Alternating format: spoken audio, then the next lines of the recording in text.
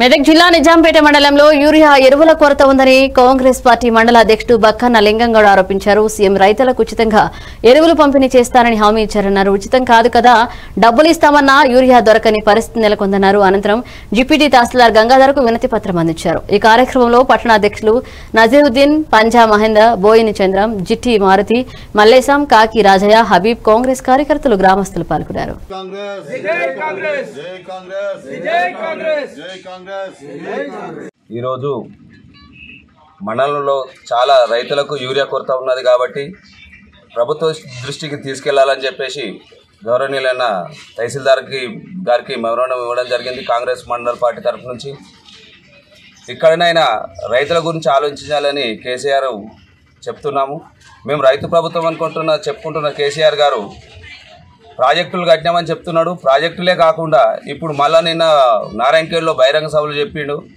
బంగారు దేశాన్ని బంగారు తెలంగాణను బంగారం చేసినాము. అలాగే దేశాన్ని కూడా బంగారం దేశం చేస్తా అని చెప్తున్నాడు. ఈ దేశంలో తెలంగాణలో రైతులు ఆత్మహత్యలు చేసుకుంటున్నారు.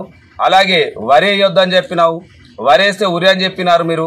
కోట్ల రూపాయలు డిస్కవర్లో పెట్టుకొని కాళేశ్వరం ప్రాజెక్టును డిస్కవర్లో పెట్టేసి ప్రపంచ దేశాలకు గుర్తింపు తీసుకున్న కేసీఆర్ గారు.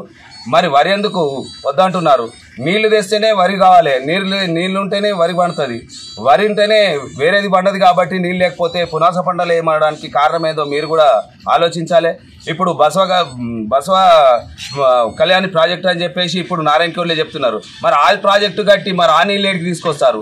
ఖాళీ రైతులను ప్రజలను మభ్యపెట్టడం తప్ప వేరేది కాదని చెప్పేసి మేము కాంగ్రెస్ పార్టీ నుంచి డిమాండ్ చేస్తున్నాము హెచ్చరిస్తున్నాము. ఇకనైనా రైతుల గురించి ఆలోచించి రైతుల గురించి పట్టించుకొని రైతుల కోసం ప్రతి ఒక్కటి డ్రిప్ ఇరిగేషన్ డ్రిప్పులు అన్నారు. డ్రిప్ లేదు డ్రిప్పులు ఇవ్వట్లేదు. అలాగే రైతుల గురించి యూరియా ఫ్రీ ఇస్తా అన్నావు యూరియా లేదు. మరి ఇప్పుడు రుణమాఫీ చేసినా అన్నారు రుణమాఫీ లేదు. ఇరవై ఐదు వేలు అన్నారు యాభై వేలు అన్నారు డెబ్బై ఐదు వేలు అన్నారు. ఇప్పుడు ఒక్కడి కూడా రుణమాఫీ అనేది లేదు. బ్యాంకులలో మీరు రైతు బంద్ చేస్తే ఆ రుణమాఫీ క్రాప్ లోన్ పట్టుకున్నాకనే